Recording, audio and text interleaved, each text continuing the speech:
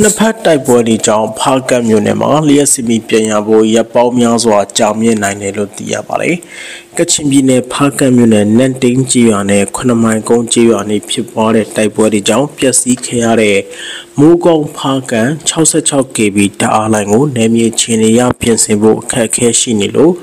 ဖားကတ်မြို့နယ်မှာလျှက်စီမီပြန်ရဖို့ရပ်ပေါင်းများစွာကြာမြင့်နိုင်တယ်လို့မြို့နယ်လျှက်စီအင်ဂျင်နီယာရုံးမှသိရပါတယ်။ပြီးခဲ့တဲ့ဖေဖော်ဝါရီလရက်နေ့ကပြစ်ခတ်မှုဖြစ်ပွားလို့နမ်တိန်နဲ့ဖားကတ်မြို့ကြားကတက်တန်တွေထိမှန်ပျက်စီးခဲ့တဲ့အတွက်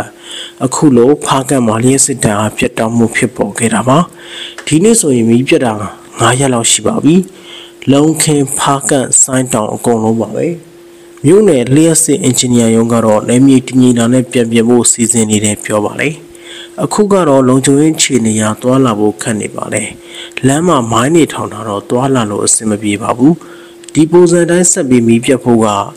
လောက်ကုံလောက်ထိကြာအောင်မယ်လို့ပြောကြောင်းဒေသခံတွေကပြောပါတယ်။ဖားကတ်မြို့မှာရေမဆေးရှာတဲ့မီးကြောက်ရည်ဖြတ်တဲ့ဓမီကအစာအသွင်းပြီးတော့သုံးရတာဖြစ်ပါတယ်။တနိုင်တစ်ပိုင်းကြောက်ဖြတ်ကြောက်တွေလုပ်ငန်းတွေအတွက်လည်းအများကြီးရှိနေတဲ့အတွက်လျှက်စစ်မီးမရတာအချိန်ကြာတာနဲ့အမျှဒေသခံတွေအတွက်အရန်ထိခိုက်တယ်လို့ပြောပါတယ်။လက်ရှိမှာလျှက်စစ်ရုံကမီးစက်မောင်းခြင်းတွေဖုန်းပါဝါဘန်းနဲ့ ရေမဆေးလောက်သားတဲ့သုံးတဲ့မီးတွေအသွင်းနိုင်ကြောင်းရုံးရှိမှာစာရေးပြီးကြေညာထားပါလေ။ပြတ်သွားတဲ့တိုင်တွေကတောင်ကြားမှာပါပြင်မဲ့ဆိုရင်တော့ crane တွေပါတယ်နဲ့ရွှေ့မှရမှာအဲ့ဒီလိုလုပ်ဖို့ကလက်ရှိမြေပြင်နေထားရအဆင်မပြေဘူးမြင်ရတာကတော့နမ်ဒိတ်နဲ့ဖာကန့်ချာဓာတ်အားလိုင်းကျိုးတွေပြတ်နေတယ်တက်တန်တွေကျိုးနေတယ်ကျိုးလုံးတွေပြက်စီးနေတယ်သက်ဆိုင်ရာအဖွဲ့အစည်းခွင့်ပြုချက်ရရင်တော့အများဆုံးပြင်ပြနိုင်မှာလို့ဖားကတ်မြို့နယ်လျှက်စီရုံကတာဝန်ရှိသူတို့ကပြောပါတယ် 2004ခုနှစ်2014ခုနှစ်တကောင်စင်းရဖားကတ်မှာလူဦးရေတသိန်းကျော်နေထိုင်ပြီးလက်ရှိအဲ့ဒီလူဦးရေထပ်ပိုများနိုင်ပါလေ